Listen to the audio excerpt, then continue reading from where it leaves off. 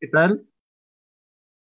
Buenos días, soy Jaime Moreno Agras, coordinador del Centro de Capacitación en Jueceo y Arbitraje Deportivo, y me complace presentar este espacio que se llama Hablemos de Arbitraje Deportivo, en donde si bien hablaremos de temas concernientes al jueceo y al arbitraje en el deporte, esto no indica que sea solo del interés de los propios árbitros y de los jueces.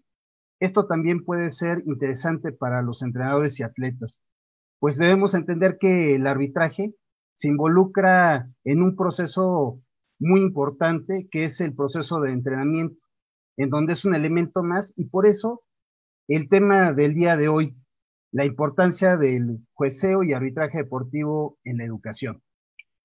Pues bien, sin más preámbulo, iniciaremos nuestra plática y compartiré la pantalla de la presentación que me permitiré también sobre ella platicar.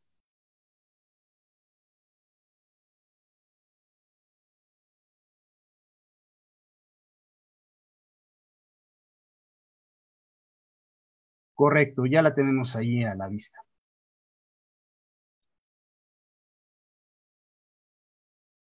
Bien, acá estoy preparando los apuntes. Correcto, ya estamos. Bien.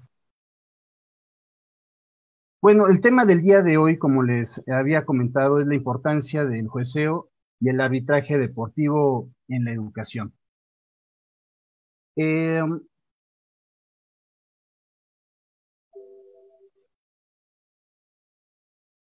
para poder entender nosotros este fenómeno del deporte y en específico del jueceo o arbitraje deportivo dentro de la educación, tenemos que remontarnos a los orígenes del jueceo o arbitraje deportivo y para ello debemos de comprender cuándo se inició la actividad del jueceo o arbitraje deportivo. En primer lugar, debemos entender que el deporte es una actividad física regulada, institucionalizada y mensurada. Tiene estas cuatro características que voy a, explicarles a ustedes. Pues bien, el deporte es una actividad física en tanto que se desarrolla una actividad con el cuerpo humano y hay un desgaste calórico al respecto, al realizar obviamente una actividad deportiva. Bien, es regulada esta actividad en tanto que se aplican y se interpretan eh, reglamentos de juego, pero también se aplican otro tipo de, de normas u ordenamientos de tipo organizativo o administrativo, cuando nosotros nos referimos a las asociaciones deportivas o a los organismos deportivos, lo cual va muy ligado a la característica de la institucionalización del deporte. Por eso el deporte también es una actividad institucionalizada, en tanto que se organiza en base a ciertas estructuras. La estructura deportiva que nosotros conocemos se conforma de federaciones deportivas nacionales y estas a su vez de asociaciones estatales, las cuales se integran por ligas o clubes y estas a su vez por equipos y los equipos por los deportistas. Toda esta estructura obedece a una institución que es la organización de todo nuestro deporte. Y de ahí que esta característica sea la que se, se acaba de indicar. Y mensurable. Esta última también va muy ligada a la cuestión de la regulación, porque como dice la frase olímpica, altius, fortius, sitius, más alto, más fuerte, más rápido. Ahí es en donde entra precisamente la actividad del juez o árbitro deportivo al medir las capacidades de los atletas en tiempo, en espacio, en distancia o en peso o fuerza. Y esto obviamente está regulado en las normas de juego. De tal manera que eso es lo que constituye el deporte o tiene las características para poderlo considerar así. Bien. En las sociedades antiguas pudieron haberse abierto espacios de ocio en donde llevaron a cabo competencias entre los miembros de esa comunidad respecto a la actividad que, que ellos tenían de sostenimiento cotidiano. Ahí ellos, este, en la caza y en la pesca, pudieron haber encontrado un espacio libre para desarrollar ciertas competencias entre los miembros de la comunidad para ver quién lanzaba su lanza más lejos, quién era más certero con la flecha y el arco, quién corría más rápido, quién era más fuerte en un enfrentamiento con otro miembro de la, de la comunidad, eh, quién nadaba mucho más rápido, quién cazaba más, quién pescaba más, etc. También para estos efectos, la danza en esos ayeres la evoluciona desde un rito religioso hasta una manifestación cultural, deviniendo con posterioridad a una manifestación lúdica de juego. Tiempo después, en diversas civilizaciones antiguas, se encontraron ejemplos que revelan la práctica y organización deportiva ya con fines religiosos, políticos, sociales, como en la Grecia antigua con los Juegos Olímpicos antiguos. Y ahí es donde ya podríamos decir que ya este, se va conformando de una manera eh, más concreta el deporte. Em, en ese contexto, en donde la actividad deportiva va surgiendo en las primeras comunidades, pues en consecuencia nace la actividad del jueceo y el arbitraje, ahí en el deporte. En tanto que en sus inicios hubo la necesidad de establecer reglas, eh, cierta organización para establecer quién era el ganador en una competencia, y por, ahí, por eso se evoluciona de la autoaplicación de las reglas por parte de los participantes, como lo que sucede cuando hay una cascarita y este, los participantes de esa cascarita, al no tener alguien que les aplique, interprete alguna regla de, juego, pues entonces son ellos los que eh, se van arbitreando por ellos mismos. Bueno, en un momento dado esto surgió desde, desde la antigüedad. Sin embargo, al ver que no era del todo parcial o todo exacta la aplicación e interpretación de esas normas, obviamente se pidió un tercero que pudiera hacerlo. Eh, nosotros podemos también ver ese ejemplo cuando en la cascarita no están de acuerdo las partes que, están jugando y le piden a un tercero que, que les diga quién es, que si fue fuera, si fue gol o que si fue falta o no. Entonces, eso mismo se desarrolló desde la antigüedad y obviamente dio pie a la entrada de, del árbitro o el juez como un elemento importante de la competición. De ahí que eh, se haya dado ya una heteroaplicación de las, de las reglas, en donde pues obviamente los participantes, al ver este, esta dificultad de hacerlo por ellos mismos, facultaron a un tercero, como les había comentado, que determinará, este, conforme a las reglas y de manera imparcial, quién era el ganador de, de la contienda. Bien, este, con posterioridad, pues aparece el carácter pedagógico del arbitraje deportivo. Así como en un principio existe una relación armónica entre la actividad deportiva y la norma, y eso lo vimos desde un principio, que es una de las características del deporte, que es una actividad regulada, pues esto quiere decir que el deporte y el reglamento tienen un vínculo muy importante. También es cierto que no es posible abordar el arbitraje en el deporte sin hacer referencia a la incidencia de, él, de este mismo en el, en el proceso de preparación del deportista. Debemos entender que el arbitraje, al involucrarse en este proceso, que es un proceso educativo, es la parte en donde se, em, se califica o se evalúa la actividad del deportista. Y esto ahorita lo veremos en un momento, cómo sucede. Bien, como decía, el entrenamiento deportivo es un proceso pedagógico organizado, ya que es una actividad de instrucción y educación en donde cada entrenamiento es una clase que incluye la enseñanza, el aprendizaje em, y el perfeccionamiento de conocimientos teórico-prácticos.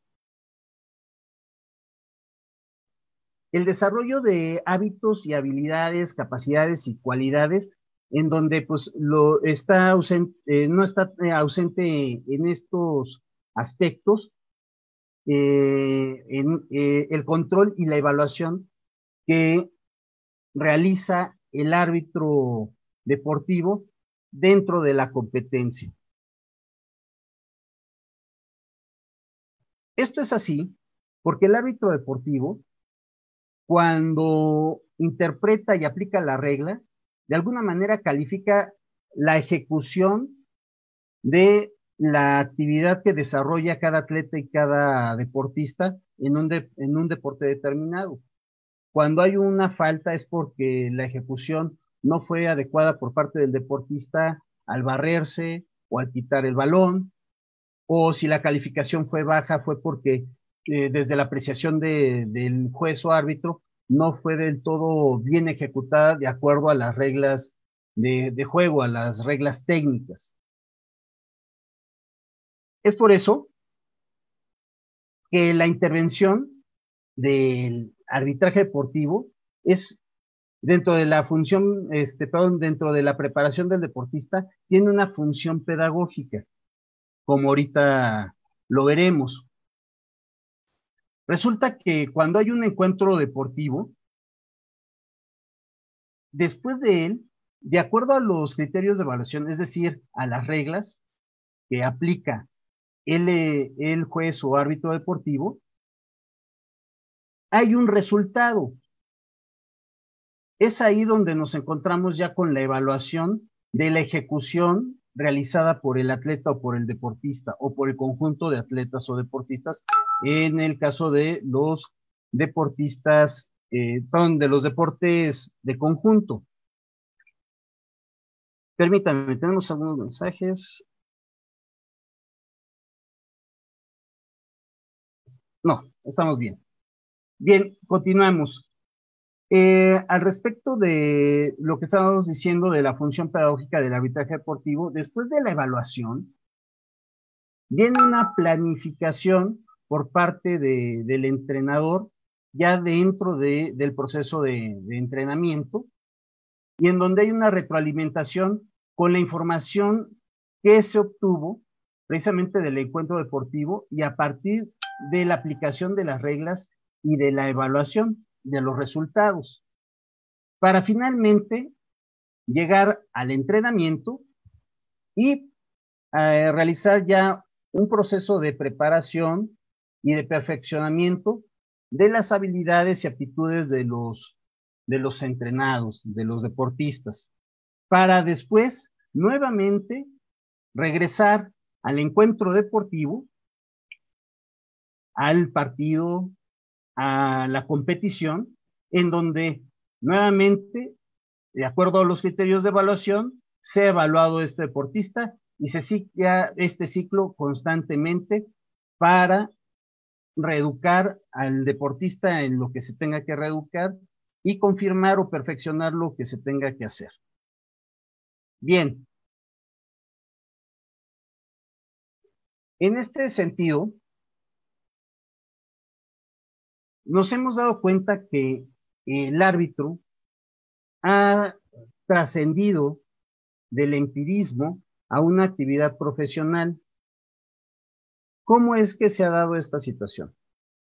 Bien, los jueces y árbitros constituyen un eslabón fundamental y decisivo en la organización y desarrollo de los eventos deportivos, pues ellos son los que se encargan de impartir justicia y aplicar eh, los reglamentos oficiales. Es decir, son los que se encargan de la interpretación correcta de la regla y aplicarla al momento de una competición. Y por ello, forman parte de nuestra sociedad como educadores.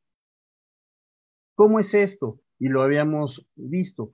dentro del proceso de, entrenamiento, que es un proceso educativo, también, aparte de la enseñanza-aprendizaje, viene la parte de la retroalimentación y de la evaluación que se debe de dar en ese proceso educativo. Y esa parte de la retroalimentación no será posible si no antes es evaluada la ejecución por parte de los alumnos, de lo, en este caso de los deportistas y de los eh, atletas.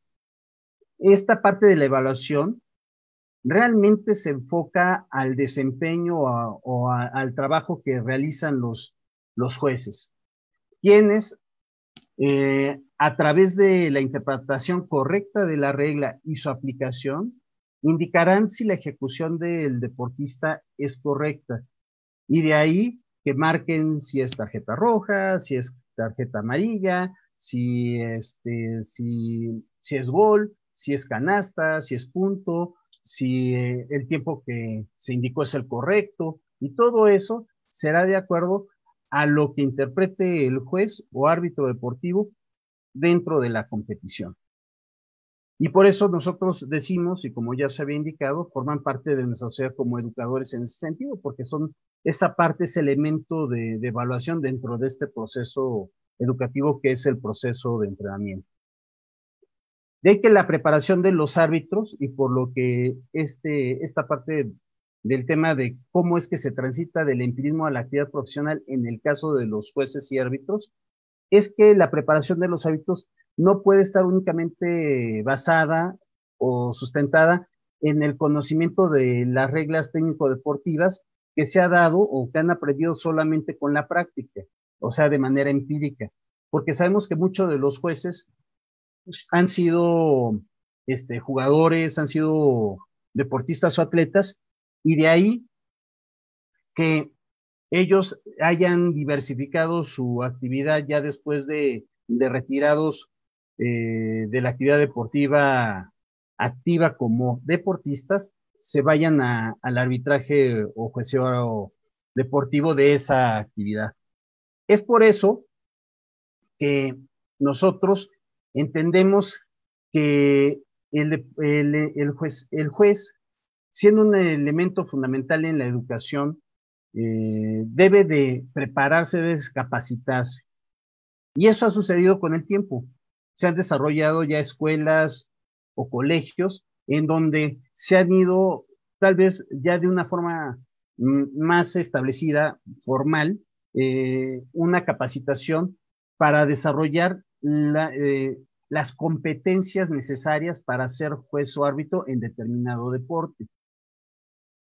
Em, ello, ello debe entenderse desde un enfoque en donde el desarrollo de estas diversas competencias resulta imprescindible para la formación de, del, del juez o árbitro deportivo.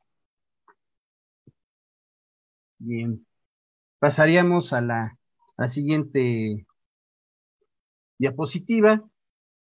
Es ahí donde nosotros ya podemos eh, dar una propuesta de la definición del juez o árbitro deportivo, en donde entendemos que es la persona o la entidad deportiva, porque hay que comprender que en varios casos no solamente es uno, sino varios los que participan en la evaluación o en la aplicación de las reglas, encargado del cumplimiento de, de, ellas mientras se desarrolle el mismo, o sea, la, este, la competición, y posee el papel de juez en un evento deportivo, teniendo la capacidad y las facultades para controlar o supervisar un encuentro, resguardando el orden técnico y conductual, mediante la aplicación de las reglas técnico-deportivas a los deportistas involucrados. ¿Qué significa todo esto? Bueno, pues estamos hablando de una persona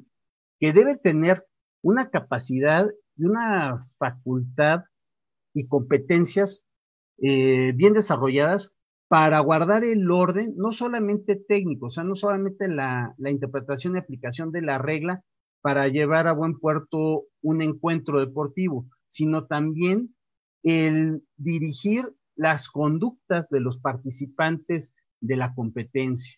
o del juego o del partido. Esto, obviamente, a través de la aplicación de, de las reglas. Es por eso que nosotros vemos que el árbitro en un encuentro de fútbol puede sacar cierto, cierto tipo de amonestaciones, cierto tipo de llamadas de atención, como puede ser la tarjeta amarilla o la tarjeta roja, de acuerdo al comportamiento dentro del encuentro deportivo e incluso en algunas ocasiones y en algunos deportes fuera de, este, ¿no? Es por eso que la participación y, y, el poder nosotros identificar y significar bien qué es el juez o árbitro deportivo es muy importante para poder nosotros entonces determinar cuáles son esas competencias que se deben de desarrollar y en donde se deben ellos capacitar para obviamente tener un mejor desarrollo de las actividades deportivas en diferentes eventos. Pues bien, entraríamos ya a la parte este, final de, de la presentación, en donde nosotros vemos que las competencias que debe tener el, el, juez o árbitro deportivo son las que a continuación se indican. Y que finalmente, en principio, nosotros pudiéramos eh, enmarcar con la primera todo lo demás, ¿no? Y como sucede en cualquier actividad que, que el ser humano desarrolla.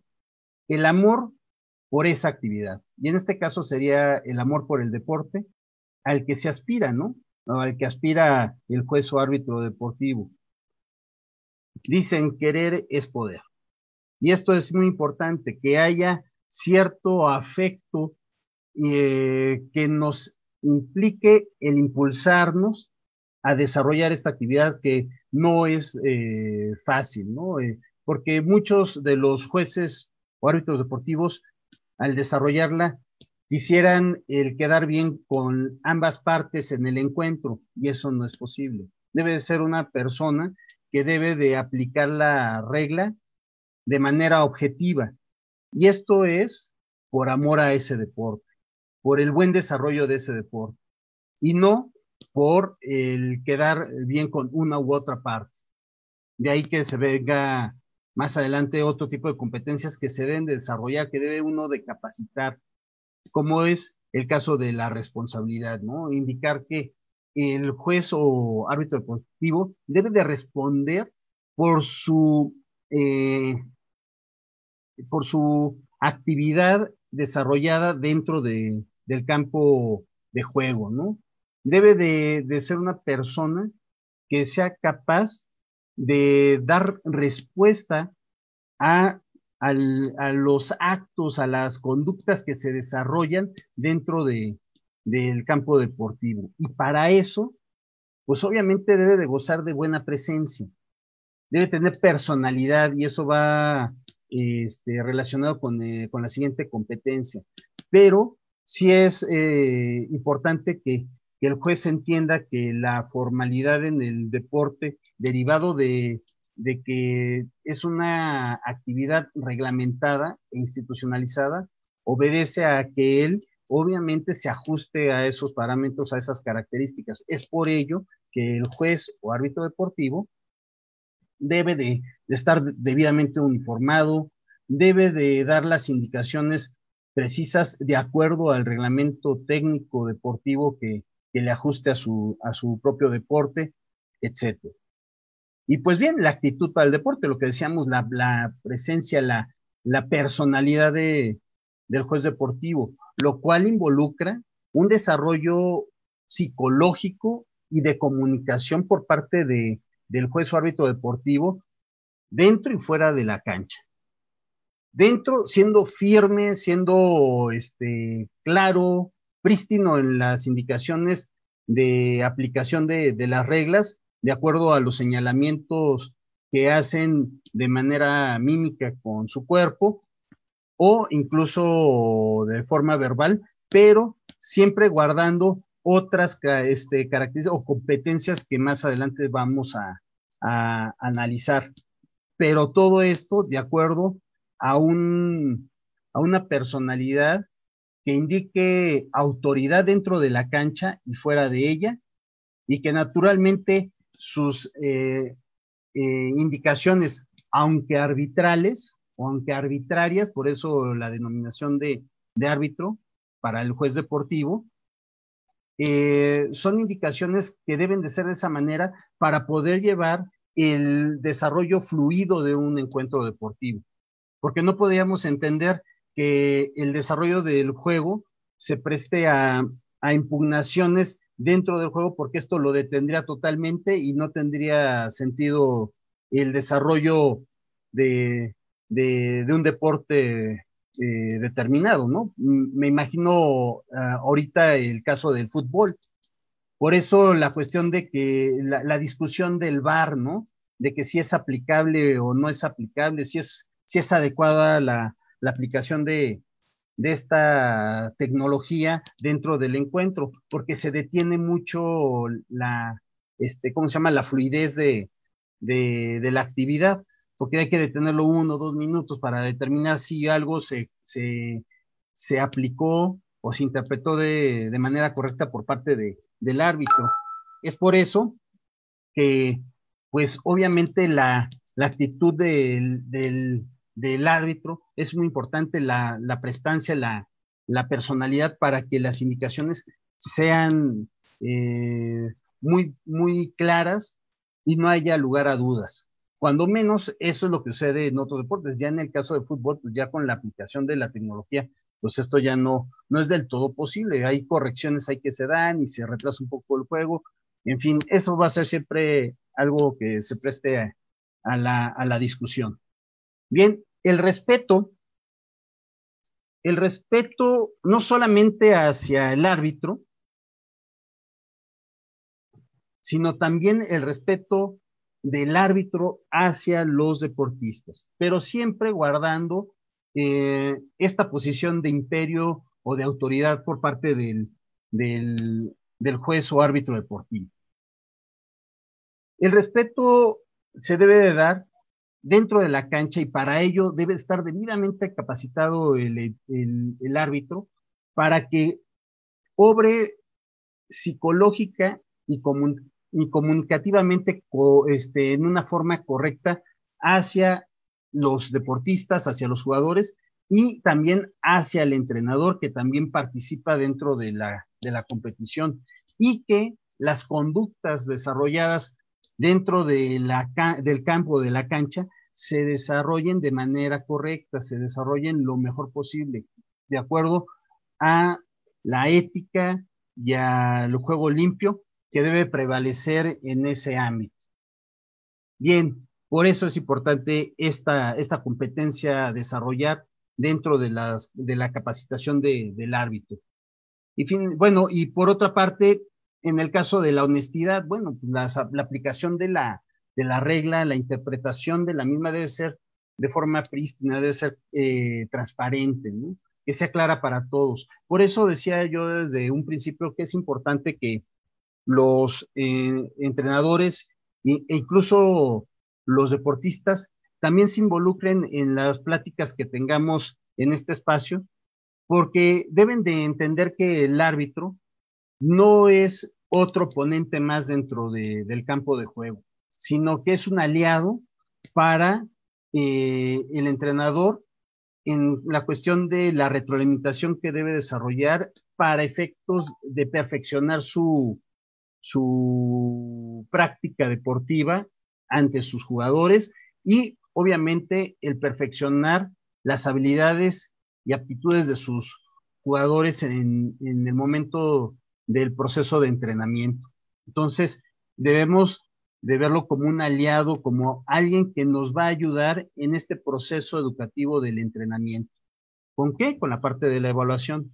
Y si bien no son los, eh, en este caso, los, los jueces del todo eh, a veces correctos o no del todo son perfectos porque son humanos y se equivocan, Debemos de tomar en cuenta que, el, que ya el, juez o árbitro deportivo en, en estas épocas se ha estado capacitando para precisamente en segundos tomar las decisiones correctas.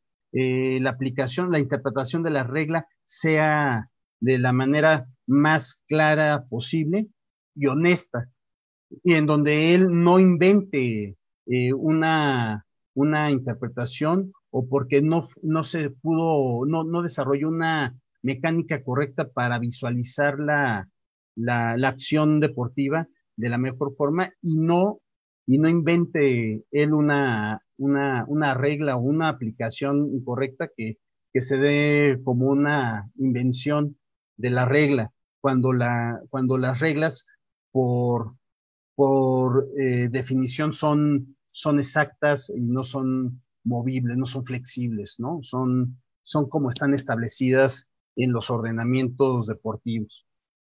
Bien, la parte de la imparcialidad, bueno, es otra cuestión que debe de el juez estar eh, entrenando constantemente y no tomar partido y no dejarse llevar por los sentimientos para cargar eh, la, la, aplicación o la interpretación de la regla hacia una parte u otra. Es por eso que debe de ser imparcial, no debe de, de, balancear su, eh, su apreciación hacia un equipo, hacia otro, hacia un deportista o a otro, o en una competición general hacia una delegación o a otra. Debe de ser él totalmente objetivo en la, en la aplicación de la, de la regla. Y para eso, pues es que se debe de desarrollar esta, esta competencia de la imparcialidad. Y la justicia, bueno, pues esta, digamos que es la más técnica de todas estas competencias porque habla sobre la, la interpretación de la regla, o sea, la correcta interpretación de la regla, el poder desentrañar eh, el espíritu de la regla deportiva en el caso concreto. Y eso no es del todo fácil. Por eso es que eh, muchos de los jueces y árbitros deportivos constantemente están ellos visualizando lo que van a desarrollar en la cancha y para eso se ayudan de, la tecnología en los videos para ellos ir viendo las diferentes acciones que se van desarrollando en distintos deportes y ver cómo pueden ellos realizar una correcta interpretación de las normas técnico-deportivas. Y eso lo hacen, pues, en reuniones, en, en, sesiones, en donde se juntan propiamente los, los jueces para platicar sus experiencias. Entonces, como estamos en un proceso de transición de lo empírico a la, a la profesionalización de esta actividad del jueceo y arbitraje deportivo, debemos entender que esta parte en donde la práctica es muy importante para efectos, es decir, la experiencia es muy importante, el poderla eh, difundir hacia los demás compañeros árbitros y jueces para poder ir aprendiendo e ir eh, mejorando la, la actuación de, del juez y árbitro deportivo en tanto la aplicación de la, de la regla, cómo, así, cómo les ha funcionado mucho mejor para llevar un buen control de, del encuentro y que ese control en lo técnico y en lo conductual llegue para que los resultados sean lo más objetivos posibles y sirvan en el proceso de entrenamiento del deportista y obviamente del entrenador para poder realizar eh, una retroalimentación, un feedback correcto y poder perfeccionar ellos las habilidades y las aptitudes de sus deportistas al momento de ir finalizando, este, ¿cómo se dice? Este, sus prácticas deportivas. Bien, aquí ya entraríamos a la parte de las conclusiones de, de, nuestro, de nuestra presentación, en donde podemos nosotros entender que eh, lo que es el juez o árbitro deportivo es una parte fundamental, indispensable dentro de todo el proceso educativo que significa el entrenamiento. ¿Por qué? Por lo que habíamos comentado, porque es, eh, es, es un elemento más, una herramienta más que nos sirve a los entrenadores y a los propios deportistas para mejorar sus capacidades y sus eh, aptitudes dentro del campo deportivo. Esto es a partir de la evaluación que hace el juez al momento de, de aplicar la regla en una competición. Y si nos descalifica, y si me descalifica a mi, a mi, a mi deportista, a mi atleta, y si por qué le sacó tarjeta, y por qué esto no fue fuera, y por qué esto sí lo fue, y por qué sí fue gol, por qué fue canasta, si no fue correcto, según la interpretación propia del entrenador. Pero hay que recordar que el entrenador, al ser parte de un equipo, pues la interpretación, pues no puede ser del todo objetiva, no, no puede ser del todo imparcial. Estamos aquí ante un tercero que obviamente eh, debe de, eh, que en acuerdo con el otro equipo, se le dio esa facultad para la interpretación de las reglas de manera imparcial, que no se cargara hacia un lado o hacia el otro. Que hemos visto en ocasiones estas situaciones Sí, sí se dan, eh, y puede ser por equivocación, por una mala aplicación de, la regla deportiva, pero no, yo creo que las menos de las veces ha sido por una cuestión intencional. Y si es así, pues obviamente ese juez o árbitro falta capacitarse dentro de lo que es el respeto y la honestidad, ¿no? Para, para desarrollar esta, esta actividad. Es por eso que el, el, el juez no solamente desarrolla esta parte de, del proceso educativo en la parte de, la evaluación, de la calificación de, las actividades que desarrolla un deportista y que le sirve al entrenador para, para perfeccionarlas al momento de la práctica deportiva, sino que también dentro de la cancha al, al deportista, al atleta, se le educa en la parte conductual, o sea, cuál debe ser el comportamiento adecuado dentro de la cancha y que esto cómo debe de reflejarse fuera de ella. Es por eso que también vemos al, al, juez o de, árbitro deportivo como un aliado del propio entrenador para poder moldear las, eh, las conductas de, de nuestros atletas para un, para un bien, para un buen desarrollo de, no solamente de, este ser humano que, está en formación, sino también para el desarrollo de otras aptitudes y otras competencias eh, que pueden servirle en, no solamente en lo personal, sino también incluso en lo profesional, ¿no?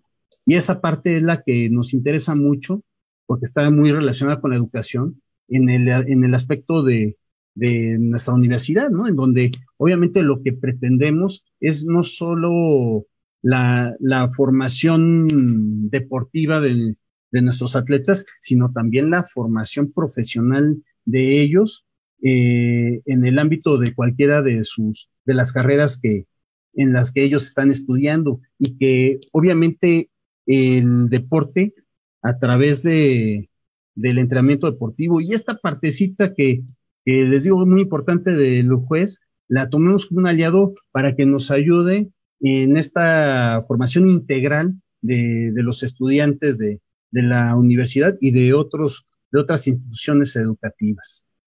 Y bien, eh, sin otra cuestión más que, que este, precisar respecto al tema, vería si, si hay este, alguna, alguna pregunta por parte de, de este, de alguno de, ustedes. De momento no, no, no puedo visualizar este, ninguna aquí en, en Facebook. Pero sí me, espero a ver si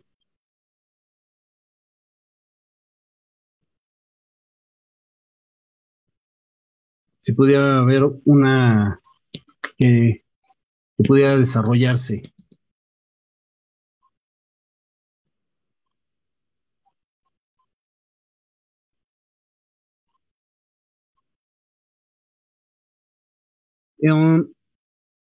Voy adelantando este, algunos avisos para para nuestra próxima sesión eh, en la siguiente semana, el día 16 de septiembre, en donde se repetirá esta, esta transmisión y retomaríamos el día 23 con un nuevo tema que en su oportunidad se, se les dará a conocer. Um,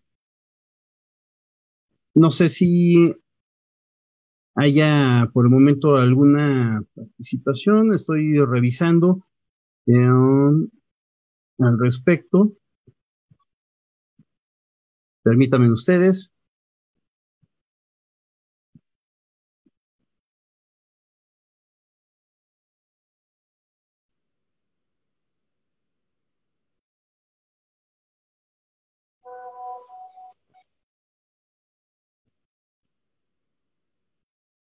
Aquí ya tenemos este un comentario.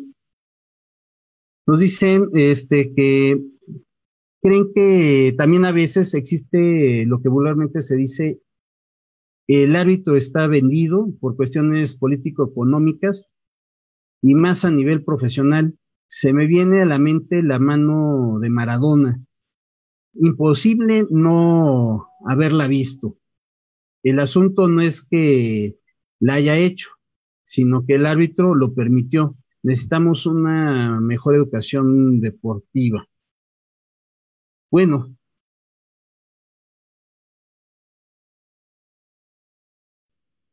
El árbitro, hay que recordar que este, muchas eh, de las cosas que, que marca, que interpreta, es a través de la, de, de la apreciación y del lugar donde se encuentre, ¿no?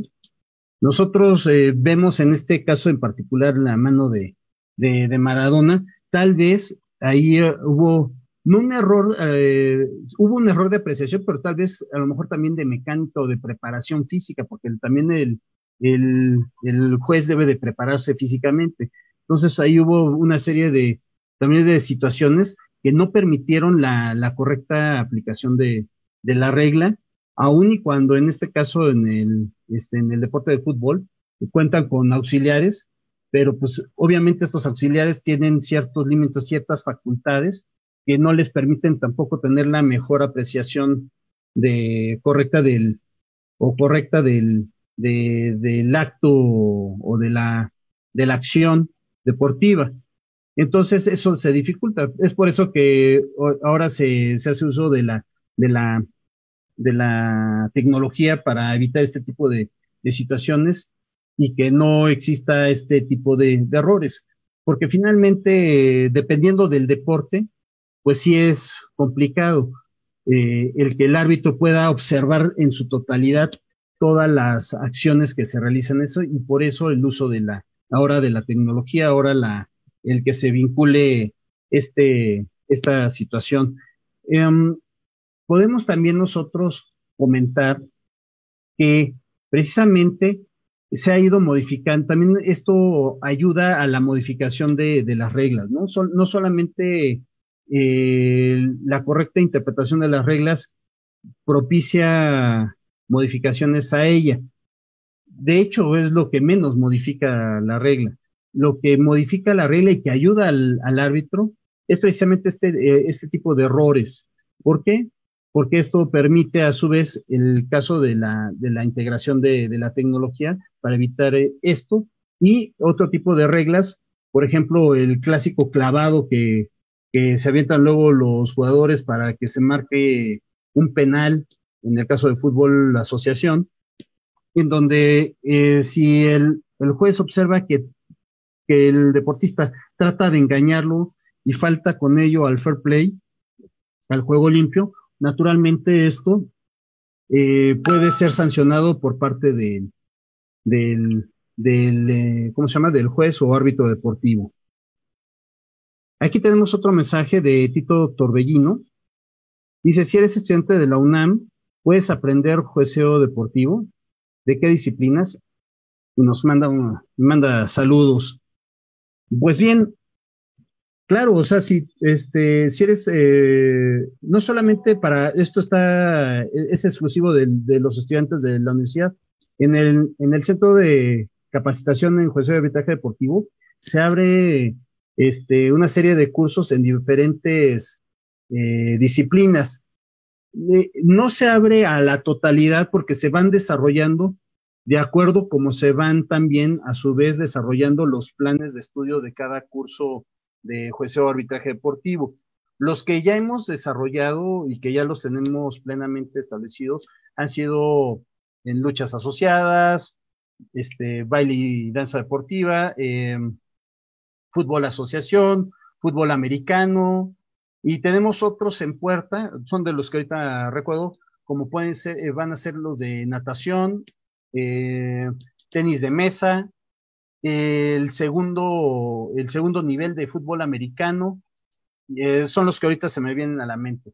Pero sí, está abierto obviamente para los, para los estudiantes de la UNAM y es la idea que ellos sean los primeros que puedan participar, porque para ellos es gratuita la, este, la, la, toma de estos cursos y que vean en esto otra oportunidad de desarrollo profesional adicional a la carrera que, que, ellos llevan a, este, a cabo. Bien, este, tenemos otro mensaje de Antonio Ortiz. Eh, nos manda saludos y dice lo sucedido con el tenista este, Novak es una buena interpretación, dice, me imagino que de la, de la regla.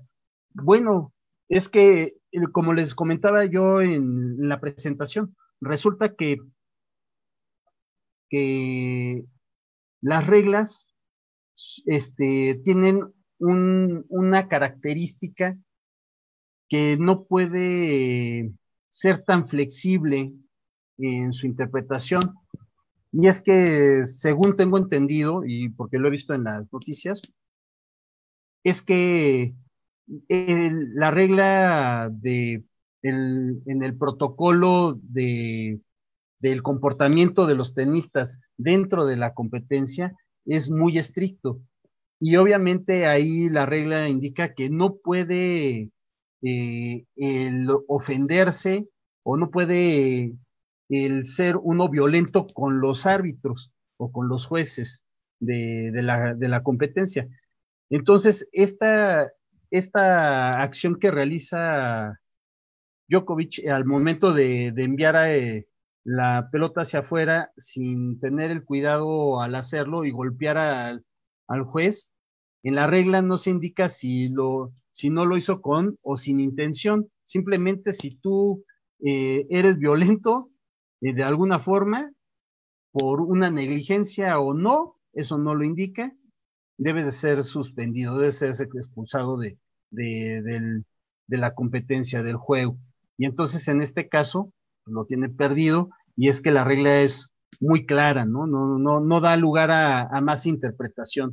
Sí es rígido, sí es este un poco arbitrario lo, lo aplicado, pero él, si ustedes se dan cuenta, el, mismo tenista se dio cuenta de esa situación y por eso se fue conforme y obviamente ofreció disculpas de, de acuerdo a una conducta pues, negligente. Sí estaba molesto y no tuvo cuidado. De hecho, se ven acciones anteriores a esta en donde él este, sí realiza este movimiento de lanzar la pelota de manera descuidada y pues obviamente si no tienes cuidado puedes lesionar a alguien.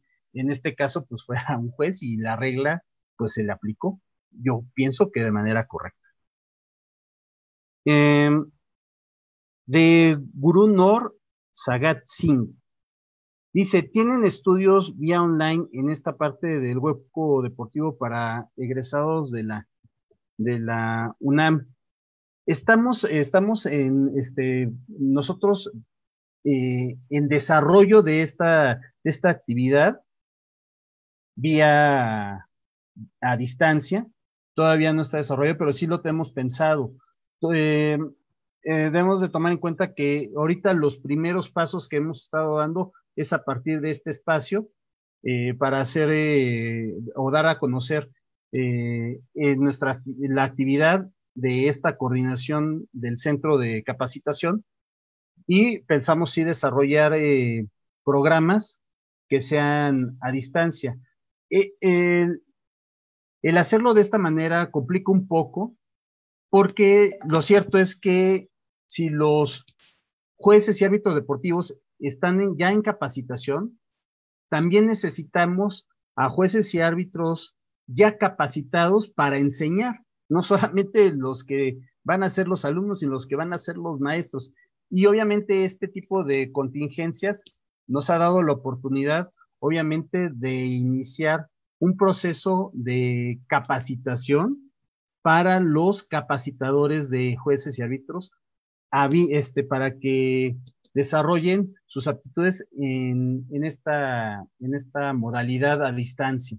Pero todavía falta desarrollar los programas este, en este sentido, porque como pueden entender, el deporte pues no, no puede desarrollarse de totalmente de esta manera, ¿no?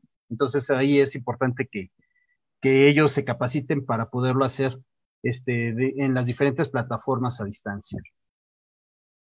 Muy bien, eh, ya es hora de que vayamos concluyendo con, con nuestra transmisión. Eh, les agradezco a todos el podernos haber acompañado en ella y nos vemos la, la próxima semana, aunque sea en un, eh, en una, este, ¿cómo se llama? Una grabación, pero el 23 de septiembre estaremos con ustedes con un nuevo tema. Hasta luego.